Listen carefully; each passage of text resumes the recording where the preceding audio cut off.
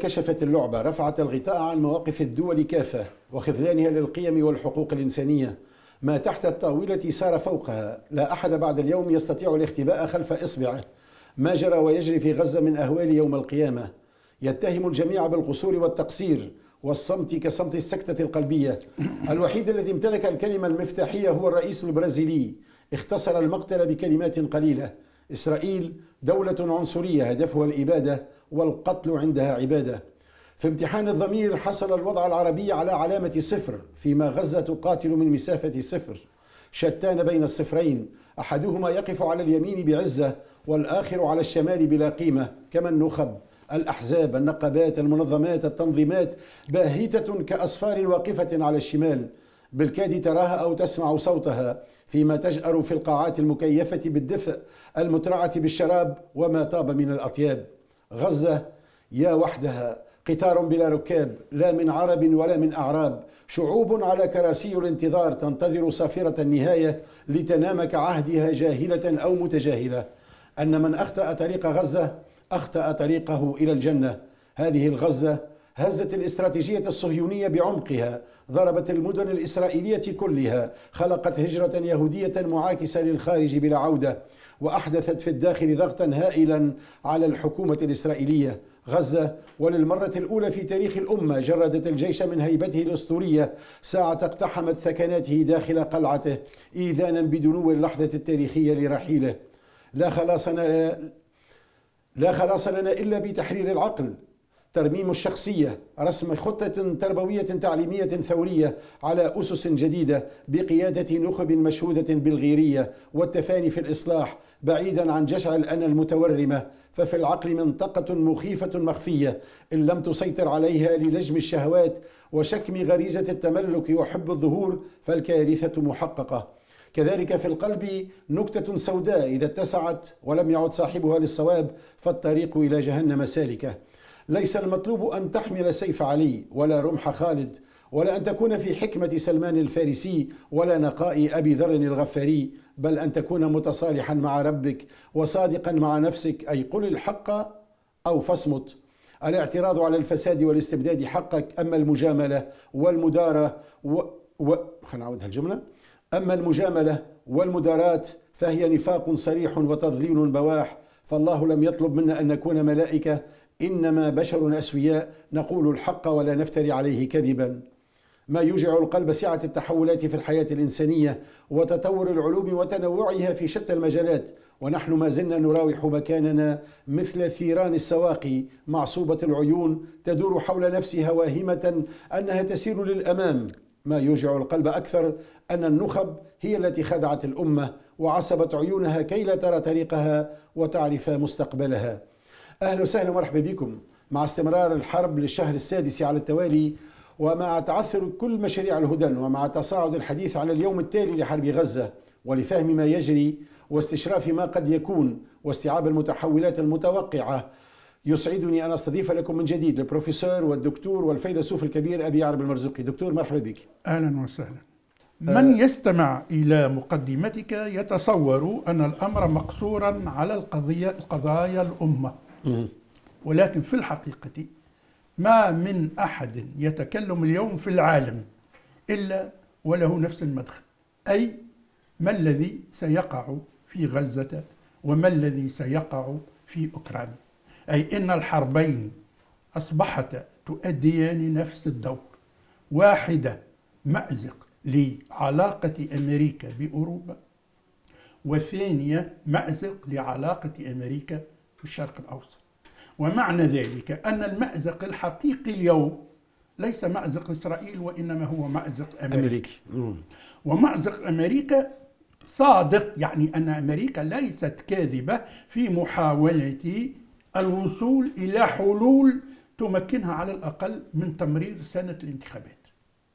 أي أن التزامن بين سنة الانتخابات والمأزقين الدوليين في أوروبا أوكرانيا وفي الشرق الأوسط فلسطين يجعلان أمريكا في مأزق إذا لم تجد له مخرجا فهي ستخسر المعركة مع الصين. هذا هو المشكل. وهي ستخسر المعركة مع الصين إذا خسر الديمقراطيون الانتخابات في أمريكا. هو أكيد أنه في العنصر الثاني نحكيه؟ أكثر على غزة وعلى ما يقع في غزة من مجريات وما نستشرفه إن شاء الله في المستقبل القريب. خلينا نبدأ اولا بالوضع التونسي، الوضع التونسي تقريبا على ثلاثة سنين تقريبا وإحنا نشخص في الأوضاع في تونس وأوضاع الانقلاب وأوضاع المعارضة. وتقريبا المسألة ما زالت تراوح نفسها تقريبا المعارضة قاعدة تخسر في بعض المربعات. اليوم الحكم قاعد يسيطر على الوضع بشكل أو بآخر ولو عن طريق الاستبداد. اليوم في تقديرك دكتور ما أفضل ما يمكن أن تقوم به المعارضة؟ ونحن على أبواب انتخابات رئاسية بدأوا تقريبا كل النخب تحكي عليها حكما أو معارضة. شوف في الحصة السابقة تكلمت على إمكانية إصلاح الوضعية في المعارضة السياسية والنقابية والجامعية وإلى آخره نعم. كل المستويات. واقترحت حلول ولكن تبين أن الوضعية في تونس لم يعد بالوسع تداركها بحيث إنها المعارضة يمكن أن تبني شروط إسقاط الانقلاب. لم يعد بوسع المعارضة المشاركة الفعلية في إسقاط الانقلاب. والدليل الأساسي هو أن النهضة نفسها تريد أن تشارك في الانتخابات. عبرت أخيرا الأمين العام العجم الوريمي عن نية النهضة المشاركة في الانتخابات. وما كان يمكن للعجم الوريمي أن يعلن عن مثل هذا الأمر لو لم يكن بأمر من الغنوش وإذا فإن زعيم حركة النهضة وهو في السجن أمر ما بقي من حزبه بالمشاركة في الانتخابات. يعني كان فهمت لي دكتور هو أنه فشل المعارضة آه، في التغيير يجعلها مجبرة على دخول الانتخابات ل لا ليست مجبرة. م. لا لحظة ليست مجبرة. بالنسبة إلى النهضة يعني كل ما سينتج عن مشاركة النهضة؟ هو أنها ستصبح مطلوبة من جميع المرشحين. يعني هناك خطة إن صح التعبير عند قادة النهضة أن تصبح من جديد رهان كل الأحزاب في تونس. أي أن كل الأحزاب تطمع في وراثتها وراثة قاعدتها. وهذا يمكن أن يجعل الرئيس نفسه يفاوض على ذلك يفاوض النهضة النهضة على جمهورها؟ نعم مم. يعني تعتقد أنه ربما تكون ثم صفقة ما بين السلطة وبين حركة النهضة قد لا مم. أنا لا أدعي نعم. لا نعم ولكن في الحقيقة وراء المنقلب تدخلات أجنبية تساعد على توجيه البوصلة التي يعمل بها. يعني مستشارين صح التعبير إما من الجزائر أو من مصر أو من الإمارات أو من إيران أو من إسرائيل. هناك تدخلات بطرق مختلفة. ليس بالضرورة مباشرة. يعني إيحاءات. هناك إيحاءات. نعم. إذا رأى رأوا أن غيره يمكن أن يسقطه بالحلف مع النهضة فسيسعى هو بدوره إلى تطمين النهضة على أن سلوكه معها سيتغير إذا شاركوا في إنجاحه. هو تتصور دكتور أنه رئيس قيس سعيد مازال هو مرشح المنظومة اللي خرجت طلعته للرئاسة في 2019 مازال هو تعتبر أنه مازال أوراقه ما تحرقتش بالنسبة لهم هما؟ تتحرق إذا شوف تتحرق إذا الجماعة رأوا بعد حسبان هذه الاتفاقيات. الجارية حاليا على جمهور النهضة والجمهور الإسلاميين لن تنفعه في النجاح. سيتخلون عنه. إذا رأوا أن غيره ربما سيحصل على آه، جمهور القاعدة جمهور الساترة وجمهور النهضة فسيميلون إليه بشرط أن يكون تابعا لهم. مثله. يعني في تقديرك أنت ما يقعش من اليوم إعداد بديل لقيس سعيد من طرف المنظومة من طرف الأطراف الخارجية؟ لا لا. هم سينتظرون. اولا سينتظرون ما سيجري في أوكرانيا وما سيجري هنا خلينا نحكي على علاقة الأطراف الدولية بالشأن التونسي. يعني علاقة قيس سعيد اليوم مع الإمارات الباري ماهيش في في صحن العسل مع فرنسا لا ما هيش في صحن العسل باعتبار أن الجزائر اعترضت على ذلك. ولكن الجزائر إذا تطور الأمر في أوروبا وتطور الأمر في فلسطين قد تغير موقفها. يعني إذا تطور الأمر في فلسطين وتطور الأمر في أوروبا يعني في أوكرانيا وفي فلسطين بطريقة تجعل صف آه، الإمارات والسعودية ومصر هو الذي ينتصر. وتصبح غزة مجرد ولاية مجرد محمية عدد 23 في الجامعة العربية. فإن الجزائر عندها سياسيين يفهمون السياسة ويرون أنه ليس من مصلحتهم أن يعارضوا كل الجامعة العربية وأن يعارضوا كل الغرب وأن يعارضوا أوروبا. والموقف الفرنسي دكتور إلباري زاد الموقف الفرنسي قاعد ينزاح عن قيس سعيد ويبتعد عن قيس سعيد. نعم ولكن فرنسا لم يعد لها وزن. المشكل أن فرنسا لم يعد لها وزن وخاصة بعد أن وقع الخلاف الكبير بينها وبين ألمانيا حول التدخل العسكري في أوكرانيا. أه، أه، ألمانيا ليست مستعدة للتدخل العسكري بالعسكر يعني في القتال في أوكرانيا. وهذا جعل رئيس فرنسا معزولا الآن في أوروبا. فيها خير بالنسبة للمسلمين لأن فرنسا هي التي تحارب تركيا وتحارب آه، عودة المسلمين للتاريخ. يعني تواصل نفس الموقف الصليبي ولكن فيها شر كبير لأن أوروبا صارت في وضعية الجامعة العربية. يعني الوحدة الأوروبية اليوم في وضعية الجامعة العربية. يعني منذ أن خرج هذا توقعته منذ أن خرجت إنجلترا وأذكر أني قلته في أحد المداخلات. نعم. وهو أن خروج إنجلترا من أوروبا سيفكك أوروبا لتصبح مثل الجامعة العربية. أولا لأن خاضعة لنفس القاعدة لابد من الإجماع. وعندما تكون مجموعة لا تستطيع أن تقرر إلا بالإجماع فهي لن تقرر شيء. كل ما يغضب واحد يوقف العمل. وهذا ما يحدث الآن في أوروبا وما يحدث في في بلاد العربية.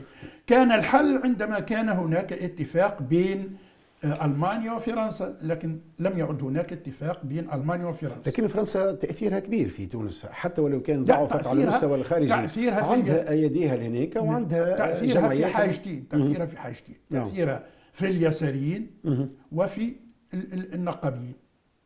ليس له تأثير آخر. وهذا ما عندوش وزن شعبي بالنسبة لبومبا في الانتخابات القادمة. كان عنده وزن. قبل الانقلاب كان هذا له وزن. نعم. أي إن آه، الاتحاد ضرب. آه، أرباب العمل يعني لي باترون ضربوا. آه، اليسار والقوميين لم يعد لهم الوزن الأساسي. إذا فرنسا لم تعد قادرة على فعل شيء إلا بالاستناد إلى إسرائيل وإيران. الفاعلية الأساسية في تونس الآن هي إسرائيل وإيران والجزائر ومصر.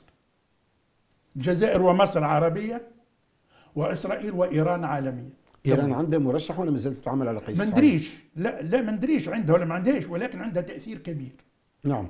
المعارضة تقريبا التوجه العام تاع المعارضة خلينا نقولوا تقريبا ماشي للمشاركة في هذه الانتخابات والضغط على سلطة قيس سعيد من أجل توفير بعض المناخات الملائمة لإجراء انتخابات نزيهة وشفافة. لا هذا أمل هذا أمل كاذب. يعني إذا ترشح وبقي له السند الذي يطمعه في النجاح فسيعمل كل ما يستطيع لمنع الانتخابات النزيهة لن تقع انتخابات نزيهة ولكن ألا يخشى مقاطعة مقاطعة المعارضة للانتخابات وتحسين هي قررت أن تشارك لا تستطيع لم تقرر. التوجه العام نتاع المعارضة هو المشاركة ولكن بالضغط من أجل توفير هذه المناخات.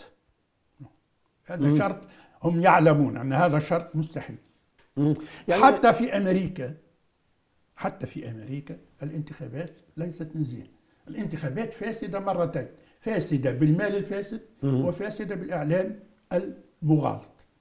في العالم الكل وليس يعني في تصورك اذا شنو الخيار أمام المعارضة؟ شوف اولا ساعة الانتخابات هي رئاسية فقط. نعم. اذا وسيلة الضغط الأساسية هي الانتخابات البرلمانية. هذه ما هيش موجودة. حسن. يعني فما إمكانية أنهم لو يترشحوا البرلمان حتى بالشكل الذي وضعه في دستوره يكون لهم وزن في المعارضة.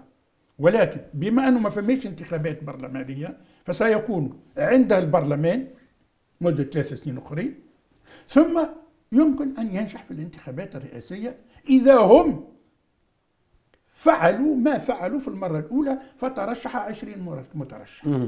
إذا يعني تعدد الترشح فله حظوظ في أن ينجح. يعني أنت ترى أنه ما يلزمش ثم تعدد ترشحات؟ يلزم كما اقترحت في المرة الأولى أقصى تقدير. ثلاثة زوج شخصيات زوج شخصيات. شخصية دستورية ممكن شخصية. في الأولى يعملوا ثلاثة. لكن لابد أن يكونوا متفقين على اثنين.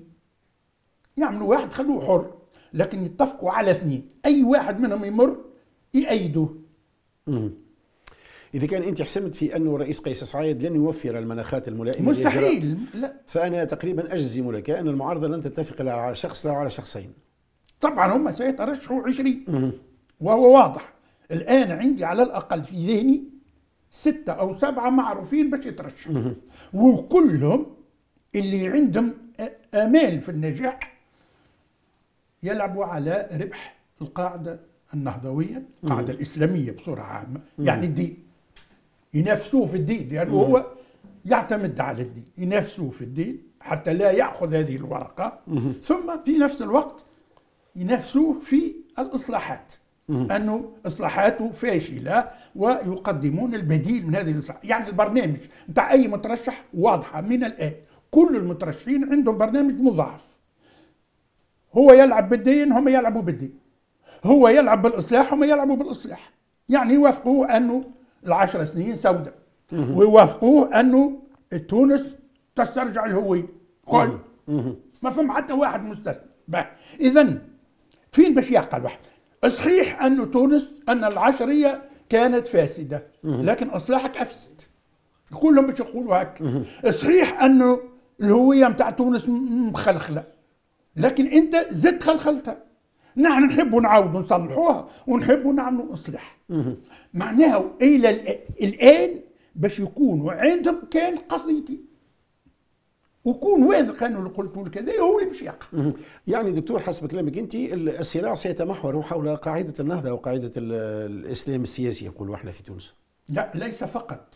سيتمحور حول الصراع حول قاعدة النهضة الإسلاميين وحول بقايا الدستور وبقايا بن علي.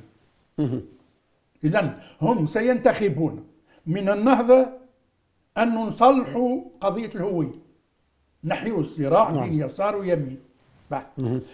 من من البورقيبية نصلحوا الدبلوماسية التونسية ونعملوا علاقات مع الناس الكل.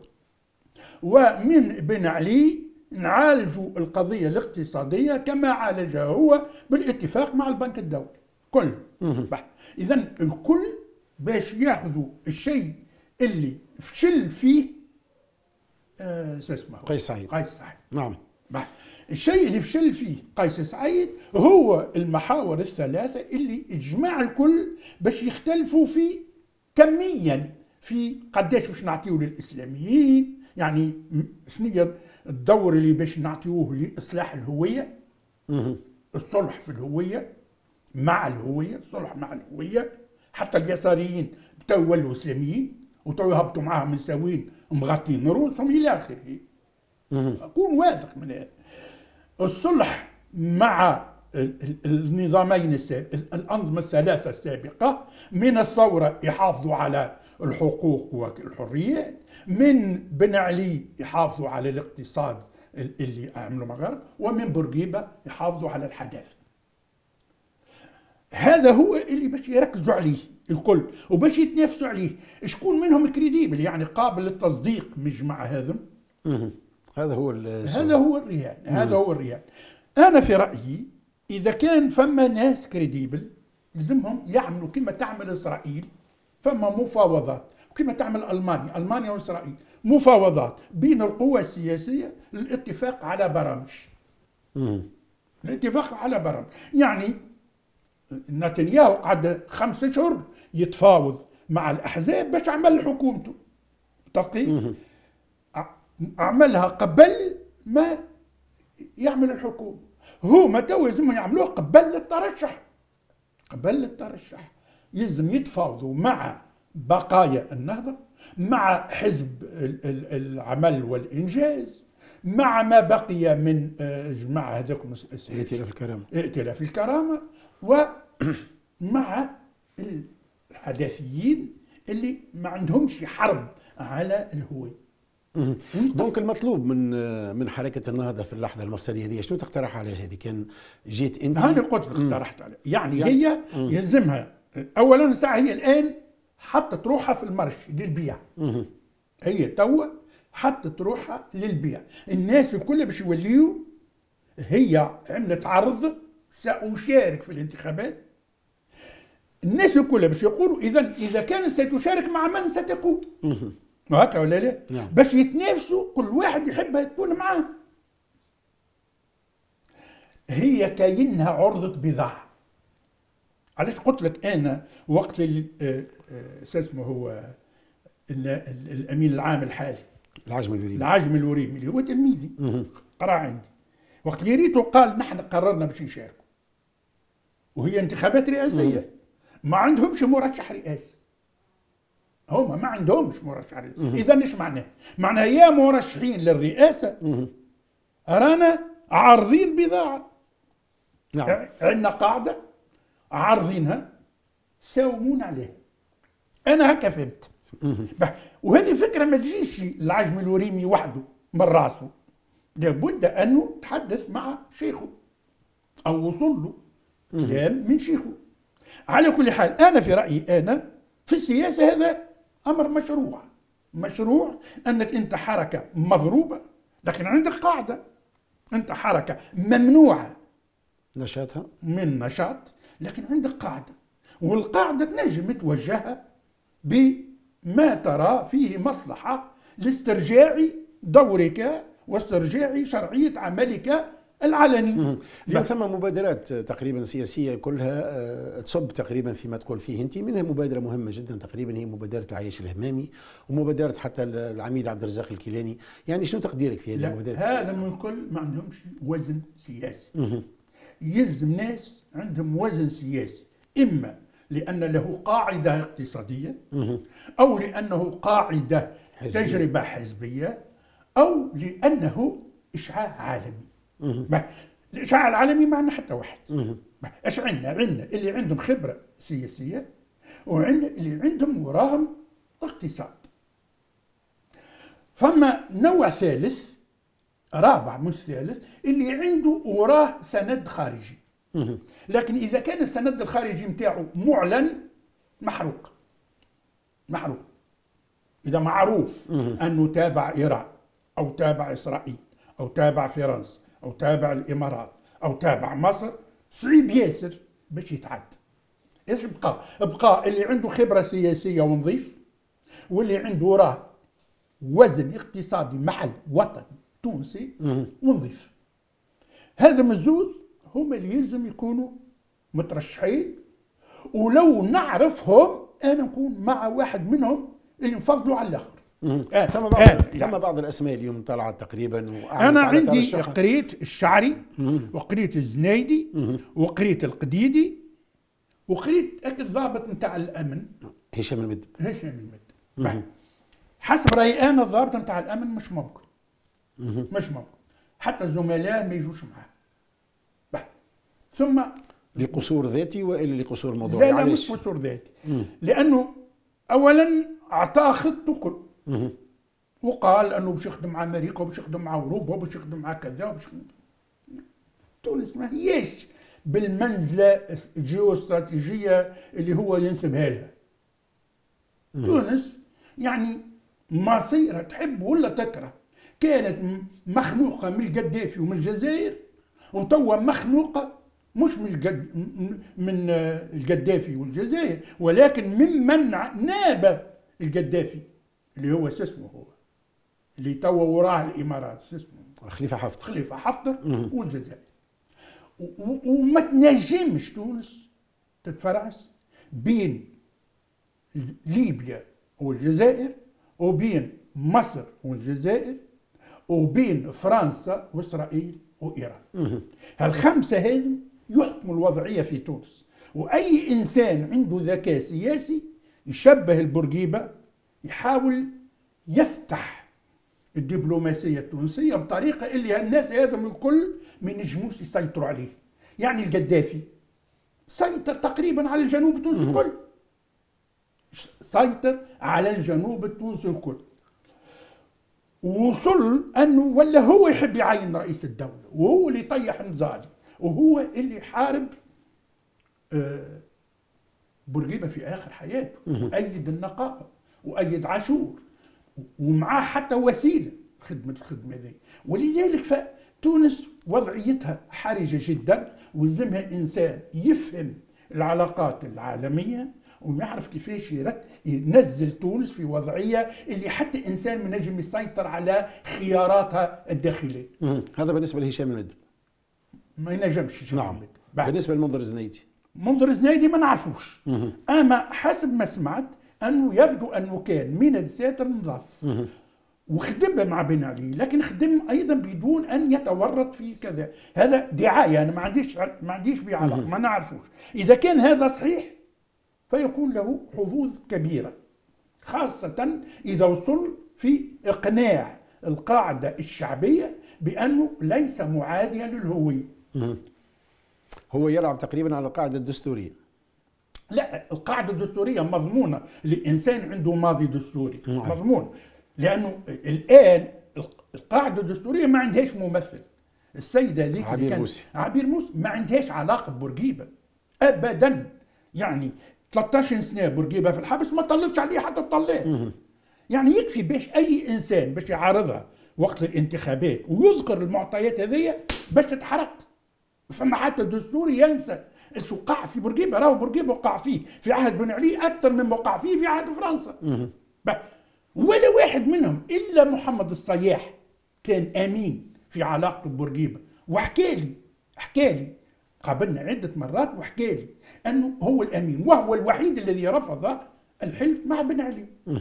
والبقية حد هذا يزنيدي أنا ما ندريش هل تحالف مع بن علي في الانقلاب أم لا. إذا تحالف مع بن علي بالانقلاب باش يخسر واحد منهم إما باش يخرج مع بن علي أو باش يخرج مع بورقيبة. إذن هو عمل مع بن علي عمل في لا عمل شيء ثاني.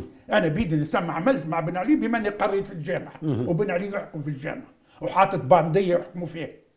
مش هذا.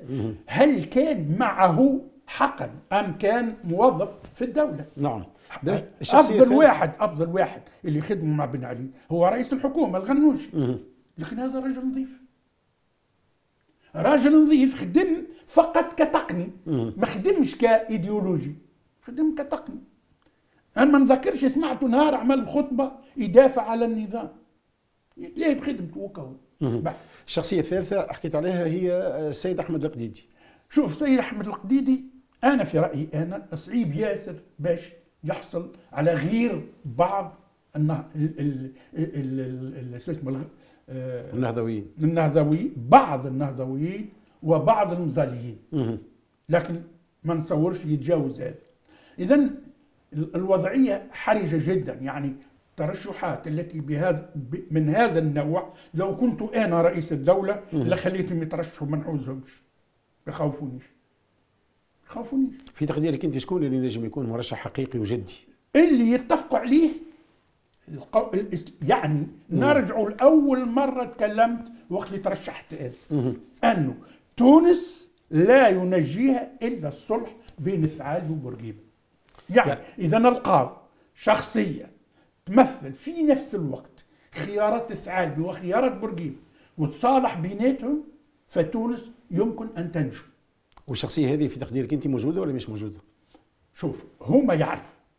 يعني هالمترشحين هذوما هما يعرفوا شكون منهم ممكن ينجح ويتفقوا بيناتهم أنهم يتنازلوا لبعضهم.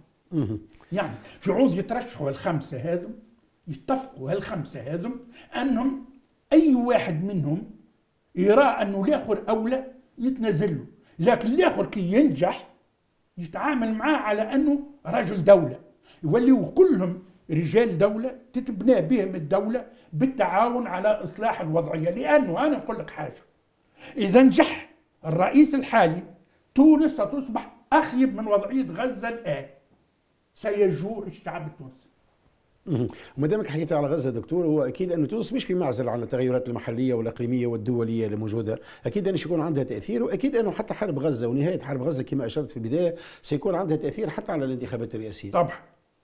اولا المشكل أنه ما سيؤثر في الانتخابات الرئاسية في تونس هو ما سيؤثر في الانتخابات الأمريكية بسبب الحربين في أوكرانيا وفي غزة. ما يجري في أوكرانيا قد ينتهي قد ينتهي في الصيف في هذا الصيف قد ينتهي عندما يخسر بايدن نهائيا أي إمكانية للنجاح. تبان تبان في الاحصاءات في نعم. الإستطلاعات إلى اخره عندئذ يكون ترامب بدأ يفعل. وعندما بد يبدأ يفعل يعني الصلح بين روسيا والولايات روسيا المتحدة. والولايات المتحدة. الصلح بين روسيا والولايات المتحدة نكبة على العرب وعلى الأوروبيين. نكبة على العرب وعلى الأوروبيين. يعني عودة ما يمكن أن نسميه وضعية حروب الاسترداد. أي إن روسيا ستسترد سلطتها في أوروبا الشرقية وستطمع في استرداد سيطرتها على القسم الأوروبي من, من اسطنبول نعم. اسطنبول وهذوم الشرطين الوحيدين اللي يحتاج لهم بوتين لكي يصبح قيصر روسيا من جديد. وهو وضع الحجر الأساس لقيصرية روسيا بأن جعل دين الدولة رسميا المذهب الذي تؤمن به روسيا ويؤمن به الكثير من دول أوروبا الشرقية. بما فيهم أوكرانيا أي أنه سيستمد شرعيته من الأرثوذكسية. شرعية دينية من الأرثوذكسية وشرعية سياسية من نجاحه في استرداد إمبراطورية روسيا. السوفييت. مش روسيا فقط إمبراطورية السوفييت. لكن معها استرجاع ما خسرته روسيا في تقسيم الخلافة العثمانية أي قسم الأوروبي من آه، تركيا. تركيا. نعم. هو استرد أكثر من ذلك لما احتل سوريا. احتلال سوريا في الحقيقة هو محاصرة لتركيا. وجود روسيا في سوريا ووجود إيران في سوريا هو محاصرة لتركيا. العرب ما يفهموش هم في بالهم أنه رتحهم من تركيا. هو ما رتحهمش من تركيا لأن تركيا ما تضرهمش. في تركيا هي اللي حافظت عليهم. الصفوية والبرتغال احتلوا الخليج. ضد تركيا الخلافة العثمانية في القرن السادس عشر والسابع عشر. احتلوا ولولا تركيا لكانت أوروبا قد استردت كل جنوب الباب الأبيض المتوسط يعني الجزائر وتونس وليبيا.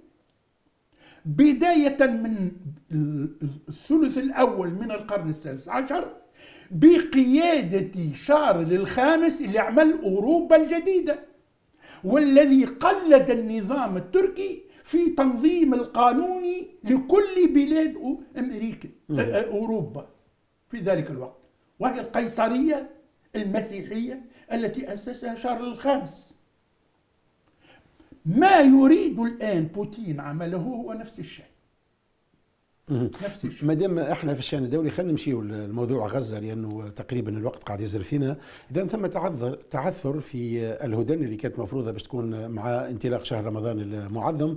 أظهرت من جانب ربما ضعف الجانب الأمريكي أمام سطوة نتنياهو لأنه كان بايدن أقر انه يوم الاثنين قبل رمضان باش يكون ثم هدنة لكن ما صارتش. وثم نوع من الابتزاز الإسرائيلي ثم أيضا قدرة المفاوض الحمساوي على إدارة المفاوضات وعدم الاستجابة للشروط الإسرائيلية. يعني كيف تقرأ هذا الوضع تقريبا في عمومه دكتور؟ تذكر أني قلت لك ينبغي أن لا تقبل حماس بهدنة مفروضة. نعم. الا تقبل وقف القتال. طبعا بشرط أن يكون لها القدره على الصمود. نعم. لأنه عدم قبول وقف القتال دون القدرة على الصمود انتحار. لا بد لها أن يكون لها القدرة على الصمود. مشكلة آه، حماس الآن مضاعفة. عندها مشكلة آه، ال- الابتزاز بتجويع قاعدتها وتجويع القاعدة لا يخلو أيضا من تجويع المقاومين. نعم. لأن المقاومين إذا كان لهم زاد فلا يمكن أن يكون قد توقعوا زاد لأكثر من المدة التي مرت. نعم. فيصبحوا هم أيضا جوعا. إذا رفضهم لشروط نتنياهو دليل على أنهم لهم القدرة على الصبر. ولهم القدرة على الصبر يعني أنهم ليسوا جوعا. وأنهم الآن متأكدين أن العالم لا يستطيع الإبقاء على تجويع القاعدة. فهم إذا في وضعية مريحة بالقياس إلى نتنياهو. نتنياهو الآن مزنوق أكثر منهم هم. هم الآن لهم إمكانية الصمود أكثر منهم هم. هناك ولذلك فكرت أمريكا في حيلة أن تنقذ نتنياهو وتنقذ إيران آه، آه، آه، إسرائيل بهذه القاعدة البحرية. باش نحكيو أكثر على القاعدة البحرية لأنه فيها برشا كلام القاعدة البحرية أنا أتذكر أنه في الحلقة الأولى قلت لا لأن لحظة لأن نعم. القاعدة البحرية عندها هدفين الهدف الأول منع الوصول إلى اتهام إسرائيل بالتصفية العرقي مم. وحماية الأنظمة من ثورة الشعوب إذا وصل الموت إلى الآلاف كما سيحصل في ما بين آه، مصر وجنوب آه، غزة. لأنه إذا وقعت الحرب على الحدود المصرية. فالموت سيكون بالآلاف في اليوم. يعني السؤال اللي تسأل علاش ثم قاعدة بحرية؟ علاش آه، أمريكا ما تنجمش يعني تدخل المساعدات عن طريق المعابر الحدودية عن طريق معبر رفح مثال ولا غيرها من المعابر؟ إذا كان دخلت على طريق ال- ال- ال- البر. ال- ال- طريق البر. شو معناه؟ هل تستطيع أن تمنع القاعدة الشعبية الإسرائيلية من منع دخول المساعدات؟ يعني هل ستبعث جيش لمنع المنع؟ لا يمكن يعني أمريكا ضعيفة إلى هذه مش الدرجه أنا- ضعف مش ضعف لا هذا يتطلب أن تبعث الجيش. أو يتطلب قرار سياسي جريء من طرف لا لا. والاداره لا الأمريكية. إيش معنى؟ معنى نطلب من أمريكا أن هي تهزم إسرائيل م- م- بدلا من العرب؟ يعني لازم أن نطلب شيء معقول. يعني أنا داخل انتخابات ونجاحي في الانتخابات رهن اللوبي الصهيوني. نجي نقضي على نفسي من أجل إنقاذ العرب. اللي هما يعني مش العرب فقط حتى الفلسطينيين. يعني شنو اللي يمنع الفلسطينيين في الضفه وفي آه، وراء الخط ال- ال- الأخضر. أن يغزوا غزه شنو يمنعهم شنو اللي يمنعهم؟ هما باش يهجموا ويهزوا الغذاء. شنو اللي يمنعهم. خلي إسرائيل خلي إسرائيل تضربهم. هي تضرب فيهم. يبقى على الأقل خليها تضربهم على حاجة. بقى شنو اللي يمنع المصريين والأردنيين بأن يوصلوا الماكلة. ما يهزوش السلاح خليه هو يضربهم. يعني إحنا نطلب من الأمريكان ومن الأوروبيين أن يقوموا بما علينا نحن أن نقوم به. نحن لا نقوم بذلك. شنو يمنع؟ شنو اللي يمنع انه العرب بالابعاد على إسرائيل؟ يفرض الدخول للبلدان اللي على حدود إسرائيل. خلي المصريين يمنعوا الليبيين. خلوا خلي الأردنيين يمنعوا العراقيين. ما يلزم يعني يلزم الشعوب تعترف أن هي التي تركت ما يحدث يحدث بما فيهم الشعب الفلسطيني. في الضفة وفي 48 في الضفة وفي 48 نعم. هذا حاجة حاجة ثانية. أمريكا تريد حاجتين تضرب عصفورين بحجر واحد. منع إسرائيل من أن تتهم بأنها جوعت. هاي سمعت بالدخول. لكن بمراقبتها عن طريق القاعدة. ومنع وصول الغضب عند الشعوب العربية إلى الشيء الذي قلت عليه ما يقعش. عليه خاطر النهارة اللي هو باش يضرب فيه اسمه الجزء الأخير في, غزة غلاف غزة لا مش غلاف غزة اللي بين مصر وغزة رفح. في رفح. النهارة اللي نتنياهو باش يدخل في رفح.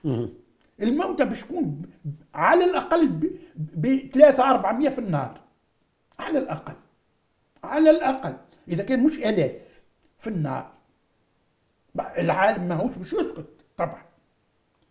ولذلك أمريكا تريد أن تنجي إسرائيل من هذه الورطة كيف؟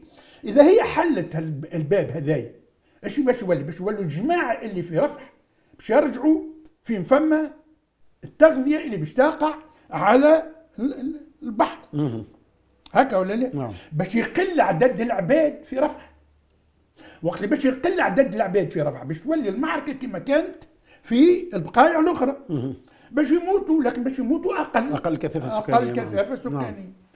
هذا باش ينجي إسرائيل وباش ينجي الأنظمة العربية. قلت لك أنا وقت اللي جابوا الأرسنال نتاعهم أنه مش لحمايه إسرائيل هي حماية الأنظمة العربية. الأنظمة العربية. خلينا نرجع زاد لما قلت في الحلقة الأولى تقريبا حول غزه ذكرت قلت أنه أنه المطاولة المطاولة ليس في صالح الكيان الصهيوني بل في صالح الطرف الأضعف على الأقل في القوة المادية. نعم. لكن اليوم الحرب استمرت حوالي ستة شهور يعني حوالي توا 160 يوم أو 165 يوم وهنا وصلنا لحرب المطاولة كيف اليوم حرب المطاولة تقول أنه ممكن تخدم حماس وأنه حماس يلزمها ترفض بعض الهدن إذا كانت ما تكونش في صالح المقاومة؟ سهل جدا سهل جدا يعني ينبغي أن نعلم أن المعركة الحالية بالنسبة لإسرائيل هي المعركة المصيرية. إذا ما تربحهاش انتهت إسرائيل. يعني إذا أنا باش نحلل يلزمني نحط روحي في بقعة الإسرائيل. إذا فشلت إسرائيل في هزيمة حماس فمعنى ذلك أن إسرائيل انتهت. حسنا لكن ليس إسرائيل فقط انتهت. الأنظمة العربية انتهت. وإيران انتهت. عليه. إيران تستمد شرعية ربح قلوب الشعوب العربية من وجود إسرائيل ومن وجود من المقاومة. دعوى أنها تحمي حماس وفلسطين من إسرائيل. نعم. وإسرائيل والأنظمة العربية انقسمت إلى جماعة تحتمي بإيران وروسيا. وجماعة تحتمي بإسرائيل وأمريكا نعم. ما تعرف إذا سقطت إسرائيل إيران لم يعد لها مبرر. وإذا سقط إيران وإسرائيل جماعة إيران يسقط وجماعة إسرائيل يرقط اللي هم نص العرب الخليجيين ونص العرب بالضبط نعم. بالضبط يعني يصبح في كل بلد عربي مقاومة من جنس حماس إذا لم تصلح الأنظمة نفسها. والأنظمة ستصلح نفسها إذا كان فيها رجال دولة يفهموا أنه الاعتماد على إسرائيل وعلى إيران وعلى روسيا وعلى أمريكا لن ينجيهم وهذا صعيب ياسر التوقع لأن الناس اللي يسمعوني أنا نتكلم هكا يقولوا الراجل هذا يحلم الرجل هذا يحلم لكن ينسوا حاجتين الحاجة الأولى أنه أمريكا مزنوقة أكثر من إسرائيل. مزنوقة من وروسيا والصين يستفيدوا من المطاولة الفلسطينية ومن عدم المطاولة الأوروبية. الأوروبيين فدوا والفلسطينيين يائسين من غيرهم ومعتمدين كان على الله وعلى أنفسهم. اذا مطاولتهم ما هيش مربوطة بالعرب في حين أن مطاولة أوكرانيا مربوطة بالأوروبيين. نعم. اذا أوكرانيا ستسقط. من للصيف ستسقط. إذا سقطت أوكرانيا إذا طلع بوتي... آه... ترامب سقطت أوكرانيا. انتهت أوكرانيا. ومحتمل جدا أن ترامب سيطلع. وأن بايدن ربما إما يموت أو يحكم عليه بالعجز لأنه مخه هبل ضاع. شو ينتج عليه؟ ينتج عليه أنه سيقع حلف بين روسيا, روسيا والولايات المتحدة. نعم. وتصبح ان أوروبا في وضعية العرب. في وضعية العرب. هل العرب والأوروبيين قادرين على التحالف؟ يعني ألمانيا في الحرب العالمية الأولى تحالفت مع الخلافة العثمانية. يعني تلتقي مصالح العرب والأوروبيين اللي هم مستهدفين من الولايات المتحدة الأمريكية ومن روسيا. لا لكن اللي هما ربما الطريقة الوحيدة باش يعوضوا تخسروه من روسيا من البلاد العربية الطاقة. الطاقة والممرات. وربما يتخليوا على فكرة أنه الإسلام خطر عليهم. لأنه الأنظمة العربية مش إسلامية. الشيء اللي الناس غالطين أنه في بالهم كل العرب مسلمين مش صحيح. كل النخب التي بيدها السلطة في البلاد العربية ملحدة. ملحدة. حتى ولو يصليوا يصليوا هذاك لعبة سياسية. لكن ما فما حتى نظام عربي يحكم فيه العسكر وإسلام. مش معقول. لا يمكن أن يكون العسكر المصري إسلامي ويتفرج في الشيء اللي قاعد يقع وما يعمل شيء. وهذا يخليني نسأل اليوم الدول العربية والأنظمة العربية خلينا نقول في موقف صعب. اليوم أمام شعوبها قدام حرب الإبادة يتعرض لها الشعب الفلسطيني، هل قادرة اليوم الأنظمة العربية أو خلق نقولوا هل قادرة الولايات المتحدة الأمريكية أمام هالازمات اللي كنت تحكي فيها اللي تعيشهم سواء كان في أوكرانيا ولا في الشرق الأوسط قادرة على حماية الأنظمة العربية العميلة لها؟ لا هي تحاول الآن حماية الانظمه العربية أكثر من حماية إسرائيل، عليه؟ لأنه إسرائيل إسرائيل دائما وابدا كانت تتمنى لو أن العرب دخلوا الحرب. لأنها كانت تقضي عليهم في جمعتين لأن تولي حرب كلاسيكية. حرب جيوش كما حرب 48 و 67 كما حرب 48 و 67 تقضي عليهم وانتهى الأمر وولي نكبة أكثر من 48 تتذكر أنا من النهار الأول قلت لك الحمد لله أن العرب ما تدخلوش. وهم ما مش يدخلوا. تفسهم من أول يعني أنت وقت أنت عندك حكام يتحالف مع الهنود ضد الفر اسمه هم المسلمين الآخرين اللي في الهند. باكستان. ويتحالف مع شو اسمه هي؟ اليونان ضد تركيا إيش معناه؟ يعني وقت عرب دولة عربية تتحالف مع الهند ضد باكستان وتتحالف مع اليونان وفرنسا ضد تركيا ومع إسرائيل إيش معناه؟ إيش معناه؟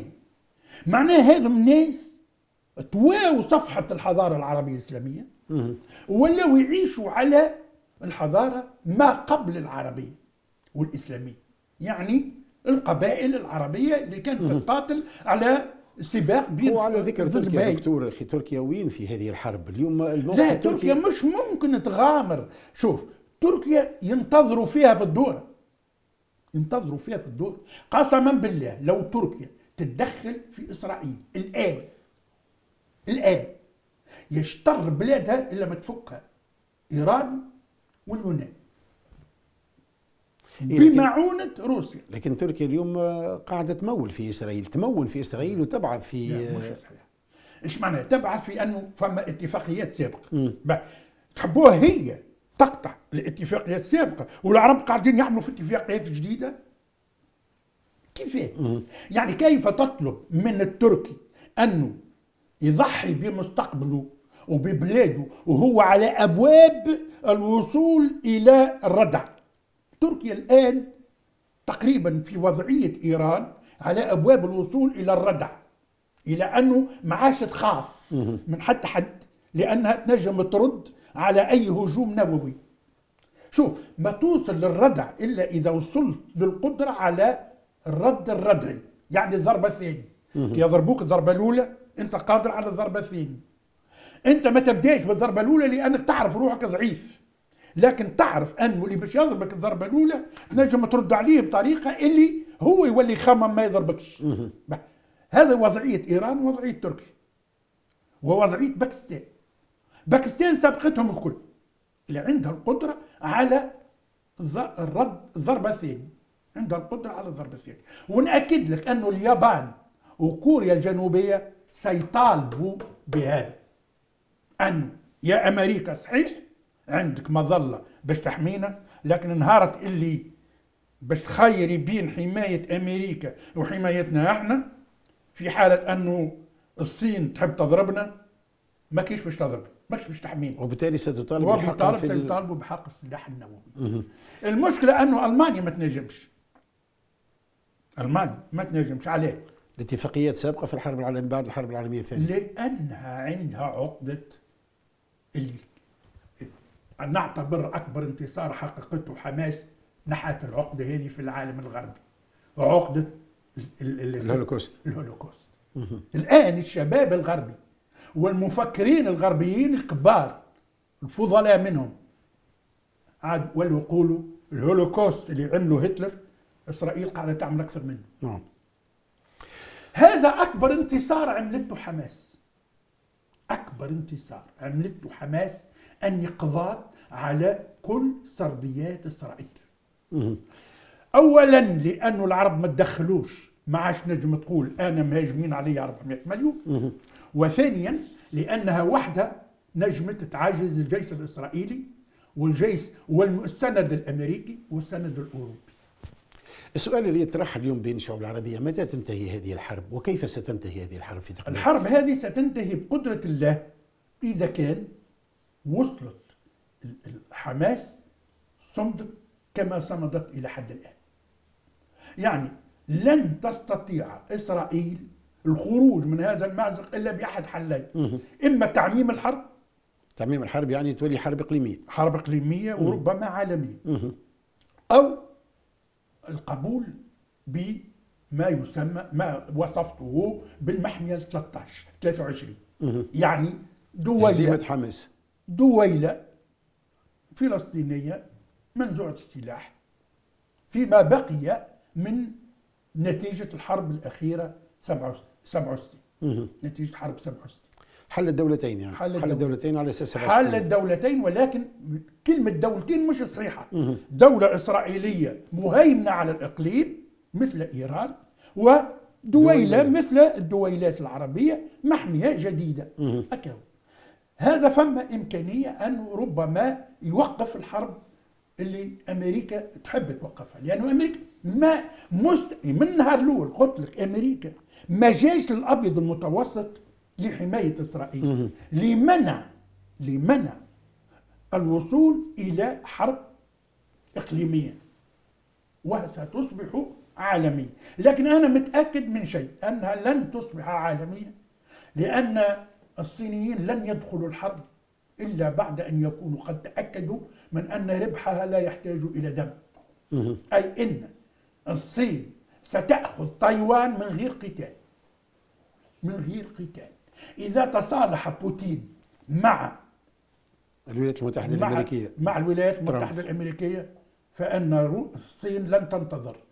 ستأخذ إذا تتوقع نهاية قريبة للحرب ولكن بترتيبات جديدة اليوم يحكيوا على اليوم التالي للحرب. نعم. اليوم يحكيوا على أنه ثم ترتيبات جديدة ترتيبات جديدة بدأت ربما باستقالة الحكومة الفلسطينية وبترتيب أنه ربما تقع هذه 23 هذه المحمية ضد 23 يعني الطريقة الوحيده اللي لقوها العرب لقوها العرب هم العرب اللي قاعدين يخترقوا فيها.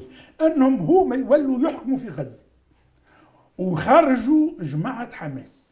وهما يولوا يحكموا في غزة مع إسرائيل وأمريكا. مع استقلال. مع إسرائيل وأمريكا. وهذا طبيعي ما تقبلش به المقاومة. ما تنجمش. إذا كان هي شوف الحصار هي وظيفته شنو هي أنه الضغط. الرد على المطاولة بالمطاولة. الرد على المطاولة بالمطاولة. شكون يطاول أكثر؟ شكون اللي يطاول أكثر المحاصر ولا المحاصر؟ المحاصر. المحاصر. أي المحاصر. نعم. المحاصر. نعم. المحاصر ماهوش محاصر. إسرائيل غير محاصر. العرب يمولوا فيه مش حتى أمريكا. مش حتى أوروبا. العرب يمولوا فيه. اذا المحاصر هو المقاومة. نعم. بقى. والمقاومة اللي برشا ناس يتصوروا أنها باش تنجد المقاومة الفلسطينية. قاعدة تكذب. عليه قاعدة تكذب. توجد عليك أنه لو كان إسرائيل وأمريكا كانوا متأكدين أنه حزب الله وإيران مستعدين لخوض المعركة. كانوا يعملوا الشيء اللي يعملوا فيه. مستحيل. لأنهم هما ما يساعدهمش. طاقة حرب تنهي.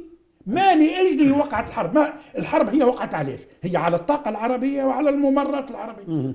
أساسا. أساسا. هما ضربوا غزة. غزة ضربوها. لأن الغزاويين فاقوا أنهم باش يكونوا ضحية الممر اللي باش يجي بالهند للإمارات للسعودية لغزة. ممر. بديل من الممر الصيني. وهذا يقتضي القضاء على غزة بصرف النظر على سبعة أكتوبر. بصرف النظر يعني ضربة إسرائيل لغزة آتية لا ريب فيها. وآتية لا ريب فيها باتفاق بين أمريكا والهند والعرب وإسرائيل. حتى يمر الأنبوب. الأنبوب الطريق البديل من طريق عن طريق الحالي عن الصين. نعم. من طريق الصين. حسن قوة الغزاويين قوة حماس أنها استبقت أنها استبقت الحدث. نعم. لكن حماس ما عملتش وحدها. وقت هي حلت الباب هبطوا جمريش فسدوا لها اللعبة. لأنه لو كان حماس وحدها ما كانتش تهز المدنيين. ما كانت تهز كان العسكريين. المدنيين ما هزتهمش حماس. شكون هزهم؟ هزوهم الحركات الأخرى. وهزهم الشعب اللي تو قاعد يبي فيهم. منهم هكا الاثنين والثلاثة. لكن لما تورطت حماس أول شيء قالت أنا مستعد نرجع لكم للمدنيين وكنت اتذكر كنت اتذكر قلت لك هذا أهم شيء عملته. نعم. أهم شيء عملته. عليه. لأنه هذا عبء عليها هي. أنت وقت تشد 200 عسكري خير من ألف مدني. المدني يحسب عليك يتحسب عليك والعسكري يتحسب عليه هو. لأنك أنت شديت عدو ما شديتش مواطن. أنت وقت شديت مواطن وانت ماكش ناوي تشد وما تشد. كأنك بررت ضربه هو لمواطنيك وهذا هي السردية الإسرائيلية على الاشتراك هذه السردية الإسرائيلية وأنا من النهار الأول قلت. نعم. قلت لك يلزم يربحوا الوقت في هدن يسيبوا فيه من المدنيين ويحافظوا فقط على العسكريين ويقع البيع والشراء على العسكريين. نعم. هذا وقع شوية. وقتها وقف تعرفش وقتها وقف؟ وقفت الحركات الأخرى. وقت حماس بدات تجمع في الأصل في الناس. لتمديد الهدنة.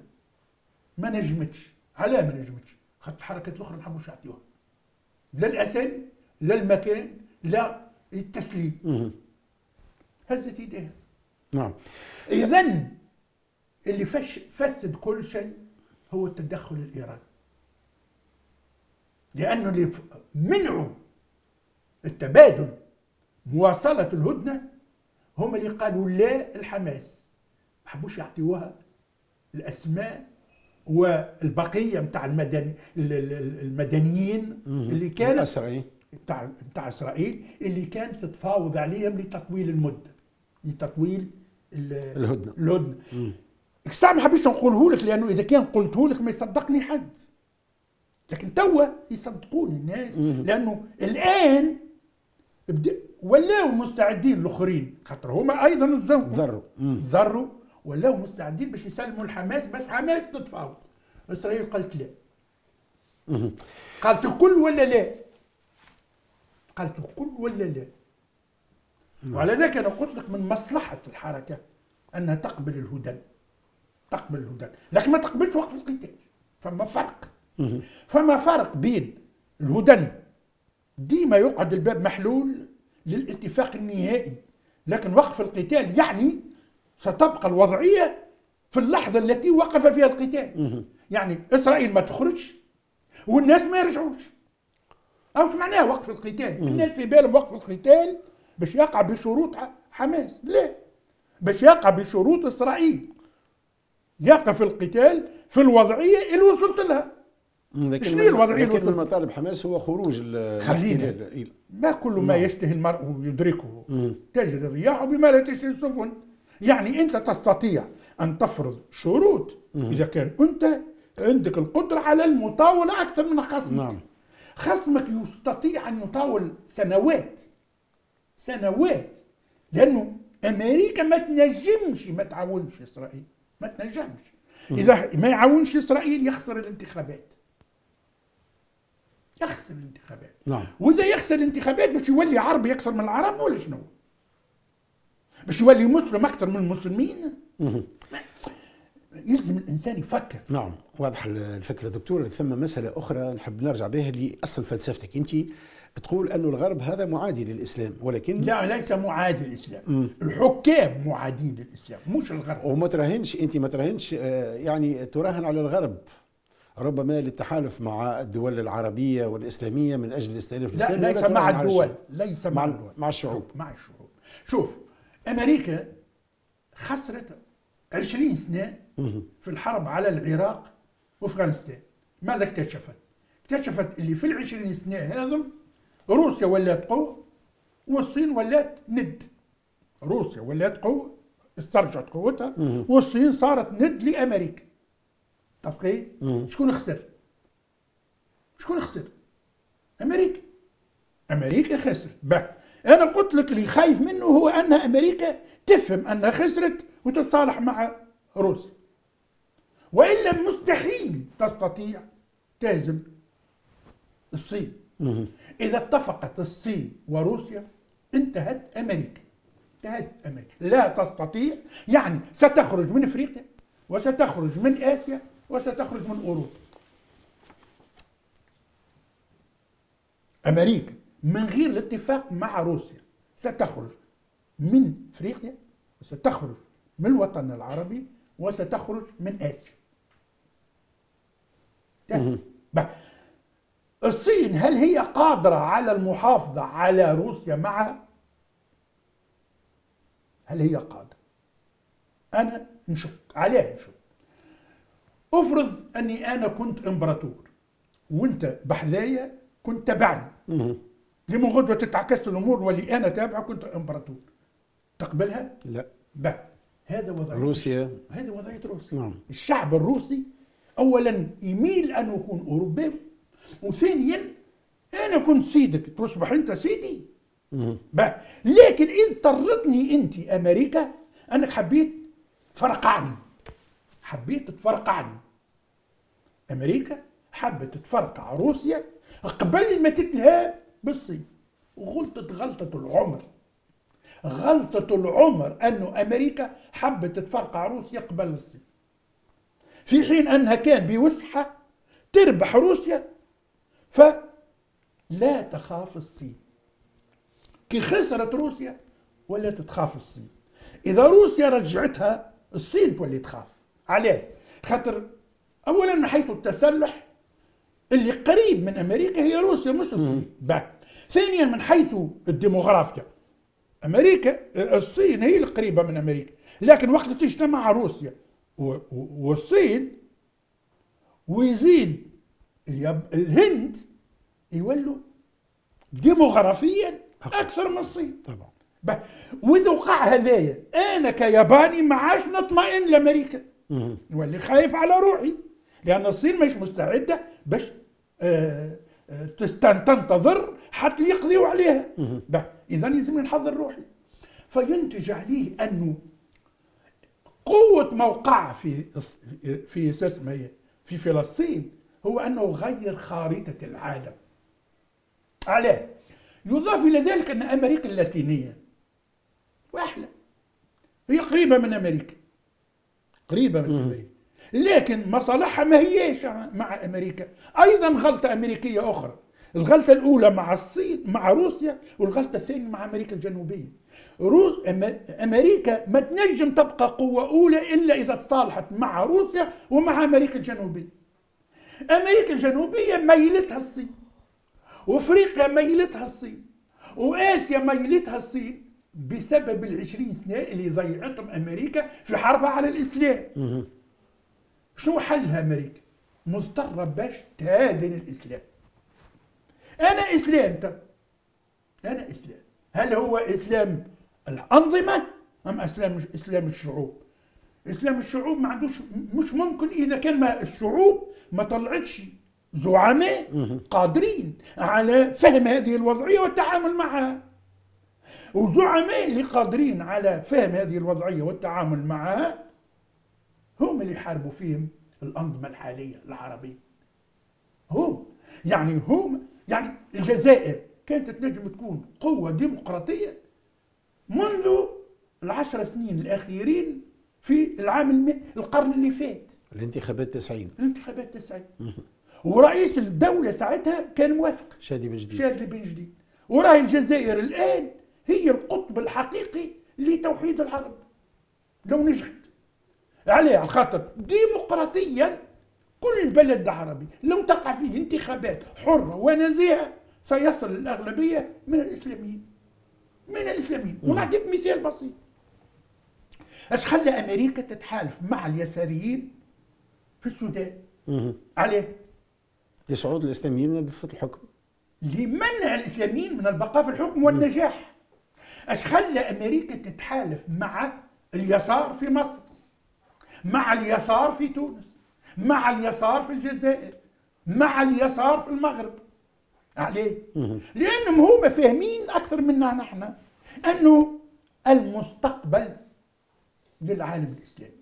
يحبوا ولا يكرهوا تطوال الحكاية ربما 20 سنة أخرين. دونك دكتور أنت ما زلت تراهن على الاستئناف في فلسفة الاستئناف الإسلامي لتعديل موازين القوى خلينا نقولوا لإعادة دور الحضارة الإسلامية من جديد في العالم؟ شوف أنا لا لا أبدي رايي بدون العودة إلى الأساس في الجيوبوليتيك. الجيوبوليتيك تحكمها الجغرافيا يحكمها التاريخ والتاريخ والجغرافيا يؤدي الثروة ويؤدي للتراث.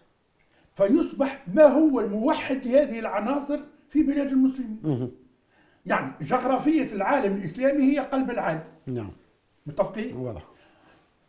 آه، تاريخ العالم الإسلامي هو قلب التاريخ الإنساني قبل قبل التاريخ القديم وبعده التاريخ الحديث. الثروة العالم اللي هي الطاقة والممرات في العالم الإسلامي. في العالم الإسلامي. كل في العالم الإسلامي. كل عليه. حتى روسيا حتى روسيا. خمس سكانها مسلمين. وحلفائها الكل مسلمين من حولها. اذا الثروه والتراث والجغرافيا والتاريخ كلهم لصالح العالم الإسلامي. كل الذين من حول العالم الإسلامي مخيرين بين إما احتلاله بالقوة أو التصالح معه. احتلالها بالقوة تبين مستحيل. تو عندنا تقريبا ثلاثة قرون وإحنا نقاوموا وفي الأخير خرجناهم. صحيح خرجناهم آه كاستعمار مباشر لكن ولونا استعمار غير مباشر. بينه خب منا. أنه خب اللي منا؟ فشلوا إيش بقى للغرب؟ التصالح معه. التصالح معنا. مش التحالف. لا التصالح معنا. إحنا حاجتنا بالتصالح. يعني خليونا نخدموا. إذا خليونا نخدموا بعد عشر سنين نصبحوا قوة عظمى بعد عشر سنين. يكفي الجزائر والمغرب يتصالحوا. باش افريقيا تصبح مسلمة. يكفي. لو يتصالح المغرب والجزائر افريقيا الكل تصبح مسلمة. يعني كل الافارقة السود الذين سيطرت عليهم فرنسا وإنجلترا والبرتغال والإسبان سيرجعوا لأصولهم. ونفس الشيء في آسيا. القضية الكل يعني لو يتنحى التنافس بين السعودية والإمارات الخليج يستطيع أن يكون لوبيات يصبح يسيطر على أمريكا أكثر من إسرائيل. أكثر من إسرائيل. وأختم الآن إذا سمحت. وهذا شيخ خليل كلمة أخيرة حتى. أختم الآن بالعودة إلى تونس. لا يمكن أن تخرج تونس من أزمتها إذا لم يوجد رجال ونساء يفهموا أن منزلة تونس هي بالأساس دبلوماسية وليست عسكرية وليست اقتصادية. والدبلوماسية تعني أنه ينبغي أن يكون لنا رجال من نوع الثعالبي وبورقيبة. يعني الثعالبي يؤمن بالأصالة ولكن ليس معادي للحداثة. وبورقيبة يؤمن بالحداثة ولم يصبح معادي للأصالة إلا لأن مصر دفعته لذلك. أي إن أعداء بورقيبة هم الذين جعلوه عدو للإسلام. من هم أعداء بورقيبة؟ اليسار والقوميين. اليسار والقوميين هم كانوا أعداء بورقيبة. ما كانوش الإسلاميين أعداء بورقيبة. ما كانوش الإسلاميين أعداء بورقيبة. يعني بورقيبة فر بالإسلام لأنه ما لقاش سند من الإسلاميين لتحقيق الصلح بينه وبين الثعالبي أنا شخصيا نعتقد أنه لن ينجح في الانتخابات القادمة في تونس إلا إنسان يعلن يعلن أنه يريد أن يحقق الصلح بين بورقيبة والثعالبي يعني بين الحداثة والأصالة. بين الحداثة والأصالة بين هوية تونس وبين ضرورات تونس. هوية تونس أنها عربية إسلامية برك فرد حر كفرد لكن هوية البلاد. وضرورات تونس أنها تكون صديقة للجميع وليست خاضعة لأي أحد لا للجزائر ولا لليبيا ولا لمصر ولا للمغرب ولا لإسرائيل ولا لإيران. وهذا ممكن وعندنا رجال قادرين على ذلك بشرط أن يجتمعوا وأن يتفقوا فيما بينهم بدلا من يهبطوا يجروا كل حد طمعان باش يولي رئيس دولة وما يوصل حتى حد يتفقوا على سنين سنين يقبلوا هذا المبدأ هذين المبدأين. يعني إذا كان حداثيا يؤمن بما يؤمن به ثعالب يعني الأصال بورقيبة والأصال. وإذا كان أصاليا يؤمن بما يؤمن به بورقيبة. يعني بورقيبة والثعالب إذا اتفقوا على زوز من الناس سيسقط. أنت معني بترشح دكتور؟ لا أبدا. إذا كان عرضوا عليك باش تترشح. أبدا. نجم تكون أنت الشخصية التوافقية اللي تجمع بين الأصالة والحداثة؟ أنا قادر لكن ما عمري لا يسمح لي أنا من لا ألعب بمستقبل تونس. أنا قربت من 80 سنة ولا أستطيع أن أعمل أكثر من 10 ساعات في النهار. رئيس دولة يجب يعمل على الأقل 15 ساعة في النهار. ولذلك لكي يخرج تونس أولا من وضعية أخشى إن نجح المنقلب أن تونس ستصبح أفسد مما عليه حال الغزاويين. ستجوع وستصبح فضيحة في العالم. تطلب في الخبز. نحن الآن بعد نطلب في الخبز ونطلبه في السكر ونطلبه في الزيت ونطلبه في كذا باش يجي لحظة نولوا نطلبه في الخبز. يعني أكثر من الوضعية اللي لقاها بورقيبة في تونس. بورقيبة كي لقاها في تونس إيش كان؟ ما كانتش تجينا شكاير من مم. أمريكا. فيها السميد. ولا لا باش نرجعوا لها. لو ينجح سنرجع لذلك. شكرا لك دكتور أبو يعرب المرزوقي على كل ما افدتنا به. شكرا لكم على حسن المتابعة. نتقابل إن شاء الله في حلقة جديدة من لقاء خاص. إلى ذلك الحين نترككم في رعاية الله. وإن شاء الله رمضانكم مبروك.